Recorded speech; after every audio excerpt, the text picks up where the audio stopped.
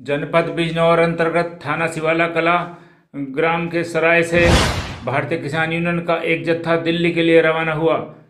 सरकार द्वारा लागू किए गए तीन काले कानून के विरोध में चल रहे आंदोलन के समर्थन में भारतीय किसान यूनियन का एक जत्था दिल्ली के लिए रवाना हुआ। भारतीय किसान यूनियन नेता चौधरी लुधियान सिंह के नेतृत्व में सैकड़ों की संख्या में किसान दिल्ली के लिए कूच कर गए।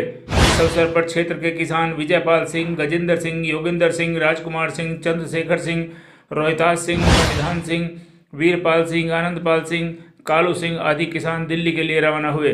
24 news India web portal channel के लिए शिवाला कला से सुभाष सिंह की रिपोर्ट।